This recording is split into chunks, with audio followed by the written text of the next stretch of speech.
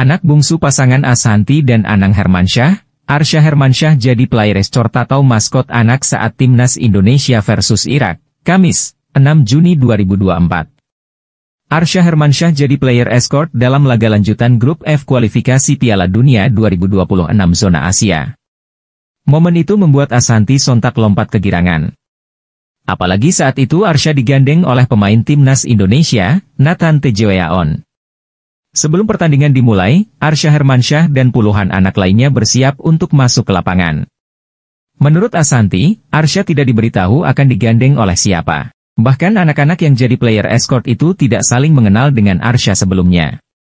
Namun adik Aurel Hermansyah itu langsung bisa berbaur dengan para player escort lainnya. Arsya, Hermansyah senang ketemu banyak teman dua baru dokter seluruh Indonesia langsung akrab, tulis Asanti. Ia juga menuturkan, sebelum pertandingan dimulai para orang tua diminta untuk menunggu di tribun atas. Asanti pun sempat bertanya, siapa yang nantinya akan menggandeng Arsya.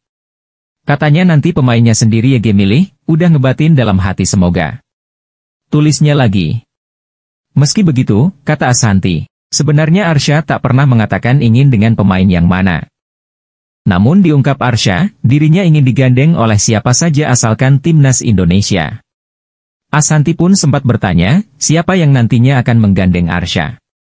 Katanya nanti pemainnya sendiri ya milih, udah ngebatin dalam hati semoga.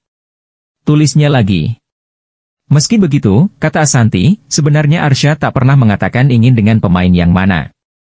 Namun diungkap Arsya, dirinya ingin digandeng oleh siapa saja asalkan timnas Indonesia.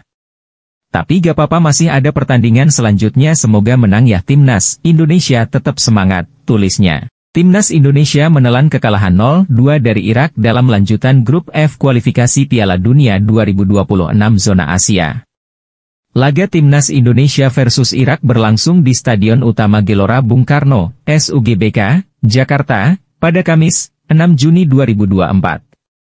Sepasang gol Irak ke gawang Timnas Indonesia dikemas oleh Aiman Hussein, 54, dan Ali Jasim, 88. Indonesia harus bermain dengan 10 pemain setelah Kapten Jordi Amat di kartu merah pada menit ke-59. Jalannya pertandingan Timnas Indonesia versus Irak Irak